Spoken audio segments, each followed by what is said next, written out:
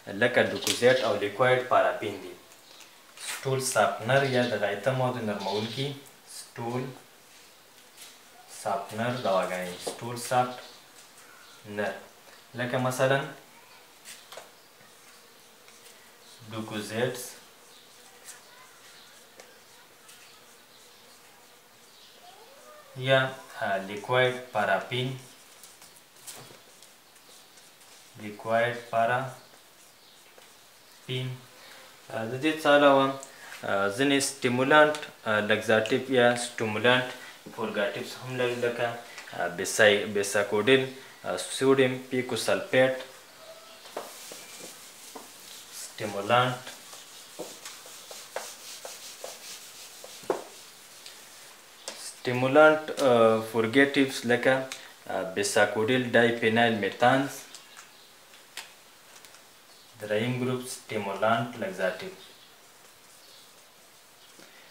یا تنبیه کوونکي چې په دې کې بیساکوډیل شامل دي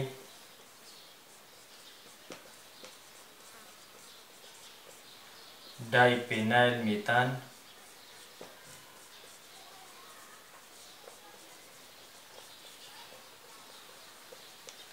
همدارنګه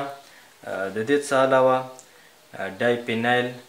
میتان څخه علاوه سوډیم پیکوسلفیټ، سوډیم پیکو سلفیټ او داسې نور شامل دي دې څخه علاوه انتراکوینونس په نوم یو ډول لګزاټیف لرو لکه سینا انتراکوینونس انترا کوینونز لکه سینا چې داسې ډېر نه استعمالیږي بل یو فیکسډ آیل یا خالص غوړ یا کسټر آیل دا دی څلورم فیکسډ آیل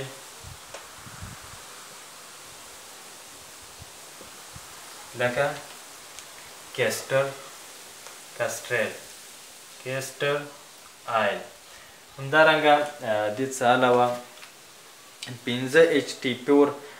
اګونست دواګانې لکه پروکلفوراید دا دي یعنی لګزاټیپ دواګانې مختلف ګروپونو باندې ویشل شوي دي بل ګروپ درمل چې قبضیت ماتونکي دي یا قبضیت راپاکوي هغه ازموټیک پورګاټیپس دي لکه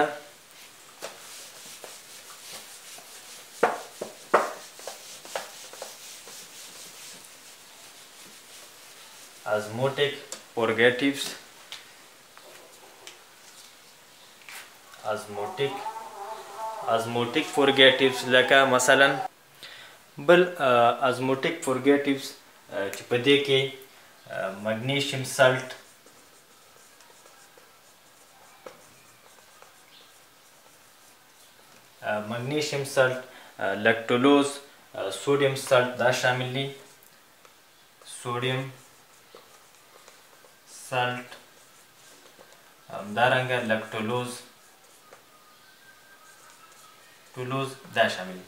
راځو د لګزاټیب دواګانو په میکانیزم یا میخانیکیت باندې خبرې کوو چې دغه دواګانې په کوم میخانیکیت باندې قبضیت رفع کوي. میکانیزم د دې دواګانو چې دی هغه مختلف میکانیزمونو له لارې تاثیرات رامنځته کوي چې یو په هغې کې دا دی چې دا دواګانې د ازموټیک افیکټ یا هم هایدروپیلیک ایفیکټ یا هایدروپیلیک خواصو په اساس باندې دا دواګانې وې د کولمو اوبو او الکترولایتونو الکترولایتونه د کولمو په لومین کې زیاتوي او په نتیجه کې د کولمو په لومین کې یا د کولمو د لومین هغه محتوا یا حجم چې دی هغه زیاتیږي او په دې ډول غایطه موادو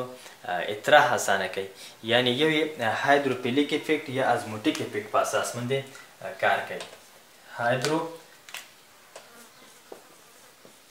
هایدروپیلیک او یا هم ازموټیک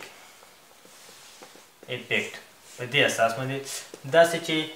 د کلمو په لومین کې د اوبو او الکترولایتونو حجم زیاتی او په نتیجه کې د دغه اوبو او الکترولایتونو حجم چې کله کلمو په لومین کې زیات شو اصلا د کلمو د لومین د محتویاتو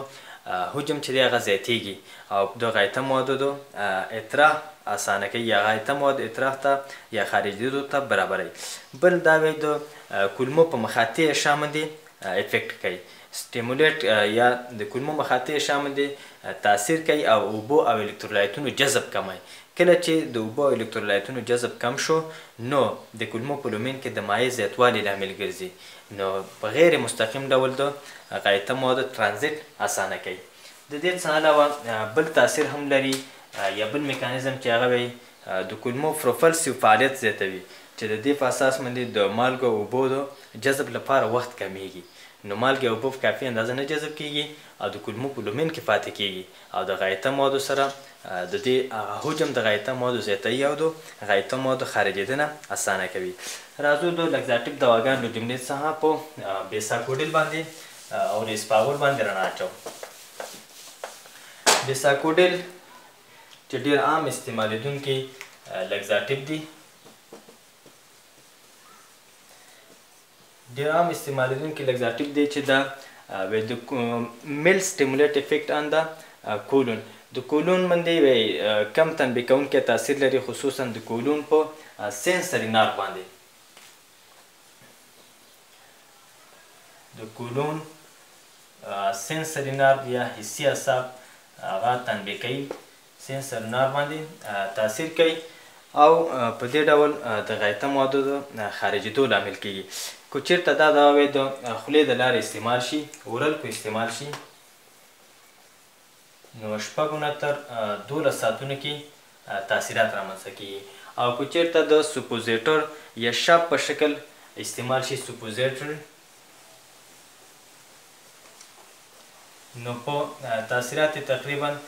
یو ساعت کې رامنځته کېږي. بل دا چې بیساکوډیل وې د استعمال معمولا یو خو د قبضیت لپاره شو بل دا چې د جراحي عملیات نه مخکې یعنی بیفور سرجیکل پروسیجر او راډیولاجیک ایکزامینیشن د راډیولوجیک معایناتو او د جراحي د ترسره کولو نه مخکې چې د غایه کولمو د خالي کیدنه ته ضرورت وي نو دغې لپاره استعمالیږي. بل د دغې بساکوډیل هغه پریفیریشن یا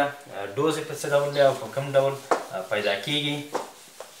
بساکوډیل وایي د په بازار کې د پنځه ملي ګرامه ټابلیټونو په شکل پیدا کیږي.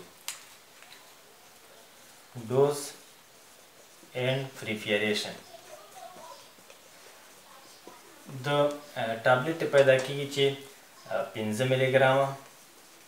په مختلفو نومونو باندې لکه دیلکس او داسې نور چې ډوز یې تقریبا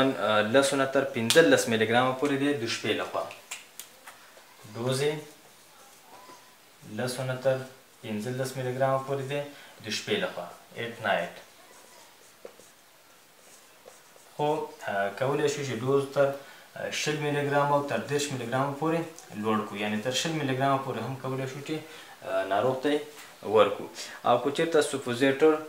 دا استعمالوو نو سپوزیټر د دې چې دی هغه لس ملي ګرامه پیدا کېږي او ډوز چې دی لس ملي ګرامه پر ریکټم دی دس ملي ګرام پر ریکټم توصیه کیږي معمولا د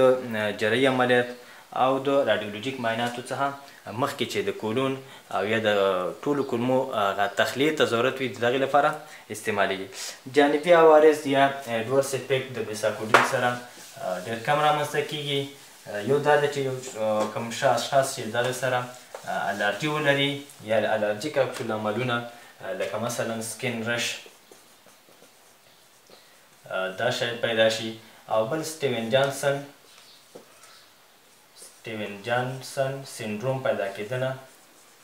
هم امکان لري وي چې دا ناروغ ته پیدا شي بل د لګزاټیو دواګان له جملې څخه اسپاغول یا سپیغول مونږ خبرې کوو اسپاغول چې دا هم په بازار کې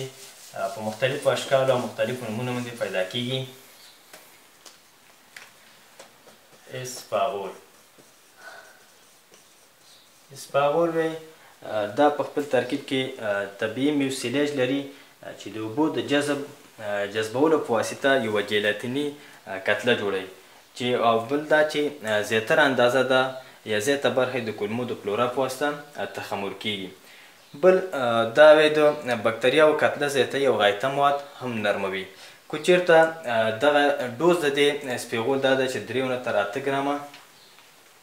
دریو نه تر اته ګرامه د یخو شیدو یا اوبو سره او یا میوې جوس سره یو ځای کیږي او د ورځې یو یا دوه ځلې استعمالیږي یعنی دریو نه تر اته ګرامه د شیدو سره یا اوبو سره یا د میوې جوس سره یو ځای کیږي او ون سډی اوړي او یا ټوای سډی د ورځې دوه ځله استعمالیږي بل دا چې اسپاغولې باید په وچ ډول یا داسې بدون له دې چې د مایع سره داسې سره یوځای شي یعنې وچ شکل ونه خوړل شي ځکه کیدای شوی په مرۍ کې یوه کتله جوړه کړي او د مرۍ د بندیدو لامل شي.